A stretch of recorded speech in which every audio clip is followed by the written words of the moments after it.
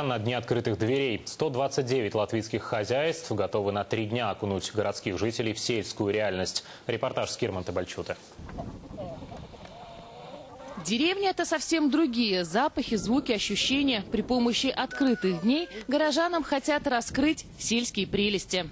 Идея акции началась э, с такой маленькой, э, маленькой идеи, что э, люди могли бы ехать в деревню и посеять для себя морковку, а потом уже осенью поехать и э, убрать морковку.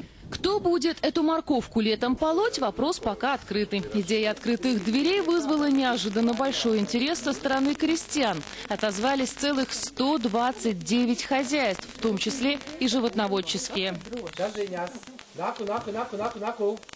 Айвар Стабулевич каждую свою козу знает в лицо, а их у него почти две сотни. Говорит, внимание и ухода эти животные требуют немало, но в благодарность они дают полезное молоко. Для многих городских детей это становится настоящим откровением. Я очень рад тому, что, побывав у нас, дети узнают, что молоко мы получаем, подоив козу, что его не производят сразу в бутылках или упаковках, что стоят на полках в магазинах. У детей появляется представление о том, где молоко у коз скапливается и как их доят.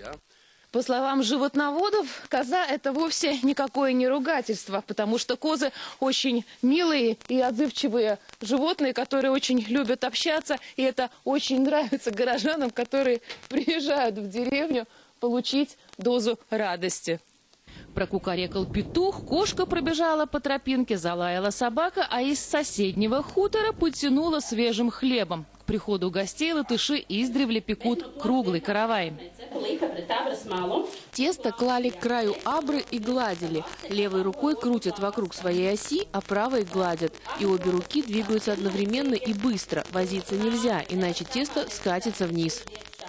Выпечка ржаного хлеба – это целая философия. Вращение против часовой стрелки избавляют каравай и человека от всего, что накопилось в прошлом. А потом тесто приглаживают по ходу солнца. У хозяйки Дона зимой было так много гостей, что даже кленовые листья, запасенные для выпечки хлеба, закончились.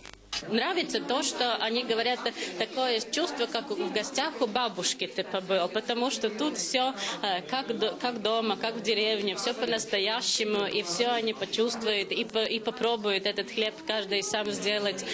Очень-очень нравится, скажем, если зимой приезжают от пиперкукас, тогда они вообще, ну, в России есть пряники, но нету пиперкукс. Каждому гостю дают с собой собственноручно выпеченный каравай. Открытые дни в деревне состоятся с 16 по 18 мая. Список участвующих в акции хозяйств доступен в интернете. С Кирматабачета Андис Кримс, телекомпания ТВ5. Сегодня на пикет к Рижской думе